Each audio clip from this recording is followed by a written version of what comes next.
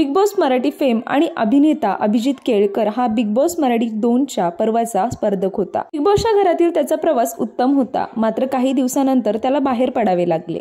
अभिजित आता प्रेक्षकांसाठी वासूची सासू हे नाटक घेऊन आलाय. या नाटकाचे पोस्टर त्याने स्वतः त्याच्या इंस्टाग्राम अकाउंटवरून त्याच्या चाहत्यांसोबत शेअर केले अभिजितने बाहेर आल्यानंतर सोनी मराठीवरील सिंगिंग स्टार या रिअलिटी शोमध्ये सिंगिंग देखील केलं आहे.